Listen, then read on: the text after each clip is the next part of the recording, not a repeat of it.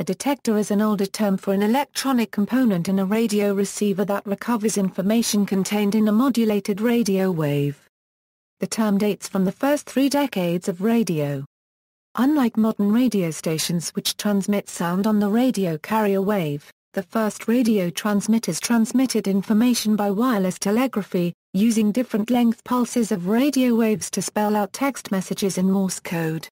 So radio receiving equipment didn't have to extract a sound wave from the incoming radio signal, but only detect the presence or absence of the radio signal, to produce clicks in the receiver's earphones representing the Morse code symbols. The device that did this was called a detector. A variety of different detector devices, such as the coherer, electrolytic detector, and magnetic detector, were used during the wireless telegraphy era. After sound transmission took over around 1920, the term evolved to mean a demodulator, a nonlinear rectifier which extracted the audio signal from the radio frequency carrier wave.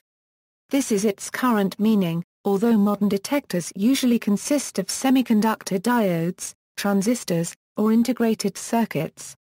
In a superheterodyne receiver the term is also sometimes used to refer to the mixer, the tube or transistor which converts the incoming radio frequency signal to the intermediate frequency. This is called the first detector, while the demodulator that extracts the audio signal from the intermediate frequency is called the second detector. Amplitude modulation detectors, envelope detector. One major technique is known as envelope detection. The simplest form of envelope detector is the diode detector that consists of a diode connected between the input and output of the circuit, with a resistor and capacitor in parallel from the output of the circuit to the ground to form a low-pass filter.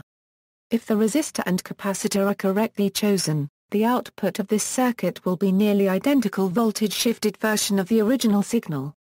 An early form of envelope detector was the cat's whisker, which was used in the crystal set radio receiver.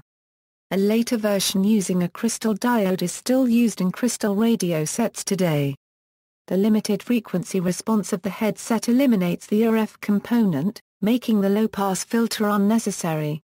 More sophisticated envelope detectors include the plate detector, grid leak detector and transistor equivalents of them, infinite impedance detectors, and precision rectifiers. Product detector A product detector is a type of demodulator used for AM and SSB signals, where the original carrier signal is removed by multiplying the received signal with a signal at the carrier frequency. Rather than converting the envelope of the signal into the decoded waveform by rectification as an envelope detector would, the product detector takes the product of a modulated signal and a local oscillator, hence the name.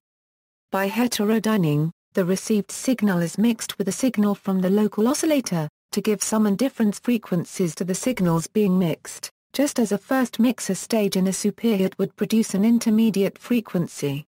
The beat frequency in this case, the low-frequency modulating signal is recovered and the unwanted high frequencies filtered out from the output of the product detector. Product detector circuits are analog multipliers and so essentially ring modulators or synchronous detectors and closely related to some phase-sensitive detector circuits. They can be implemented using something as simple as ring of diodes or a single dual-gate field effect transistor to anything as sophisticated as an integrated circuit containing a Gilbert cell frequency and phase modulation detectors, AM detectors cannot demodulate FM and PM signals because both have a constant amplitude. However an AM radio may detect the sound of an FM broadcast by the phenomenon of slope detection which occurs when the radio is tuned slightly above or below the nominal broadcast frequency. Frequency variation on one sloping side of the radio tuning curve gives the amplified signal a corresponding local amplitude variation, to which the AM detector is sensitive. Slope detection gives inferior distortion and noise rejection compared to the following dedicated FM detectors that are normally used. Phase detector A phase detector is a nonlinear device whose output represents the phase difference between the two oscillating input signals. It has two inputs and one output, a reference signal is applied to one input and the phase or frequency modulated signal is applied to the other the output is a signal that is proportional to the phase difference between the two inputs. in phase demodulation the information is contained in the amount and rate of phase shift in the carrier wave. The Foster-Seeley discriminator The Foster-Seeley discriminator is a widely used FM detector. The detector consists of a special center tap transformer feeding two diodes in a full-wave DC rectifier circuit. When the input transformer is tuned to the signal frequency, the output of the discriminator is zero. When there is no deviation of the carrier, both halves of the center tap transformer are balanced. As the FM signal swings in frequency above and below the carrier frequency, the balance between the two halves of the center tapped secondary is destroyed and there is an output voltage proportional to the frequency deviation. Ratio detector The ratio detector is a variant of the Foster-Seeley discriminator, but one diode conducts in an opposite direction. The output in this case is taken between the sum of the diode voltages and the center tap. The output across the diodes is connected to a large value capacitor, which eliminates AM noise in the ratio detector output. The ratio detector has the advantage over the Foster-Seeley discriminator that it will not respond to AM signals, thus potentially saving a limiter stage. However the output is only 50% of the output of a discriminator for the same input signal. The ratio detector has wider bandwidth but more distortion than the Foster-Seeley discriminator. Quadrature detector In quadrature detectors, the received FM signal is split into two signals. One of the two signals is then passed through a high reactance capacitor, which shifts the phase of that signal by 90 degrees. This phase-shifted signal is then applied to an LC circuit, which is resonant at the FM signal's unmodulated, center, or carrier frequency. If the received FM signal's frequency equals the center frequency, then the two signals will have a 90-degree phase difference and they are said to be in phase quadrature a euro hence the name of this method. The two signals are then multiplied together in an analog or digital device, which serves as a phase detector.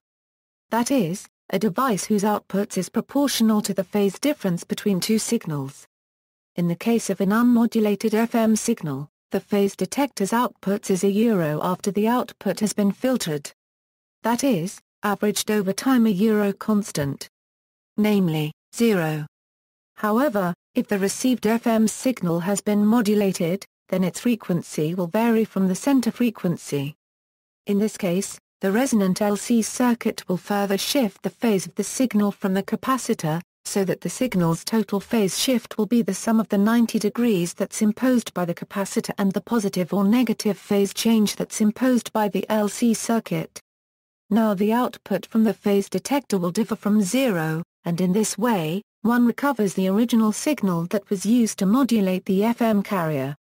This detection process can also be accomplished by combining, in an exclusive OR logic gate, the original FM signal and a square wave whose frequency equals the FM signal's center frequency. The XOR gate produces an output pulse whose duration equals the difference between the times at which the square wave and the received FM signal pass through 0 volts. As the FM signal's frequency varies from its unmodulated center frequency, the output pulses from the XOR gate become longer or shorter. Signal When these pulses are filtered, the filter's output rises as the pulses grow longer and its output falls as the pulses grow shorter. In this way, one recovers the original signal that was used to modulate the FM carrier. Other FM detectors, less common, specialized, or obsolescent types of detectors include, Travis or double-tuned circuit discriminator using two non-interacting tuned circuits above and below the nominal center frequency, Weiss discriminator which uses a single LC tuned circuit or crystal, pulse count discriminator which converts the frequency to a train of constant amplitude pulses, producing a voltage directly proportional to the frequency.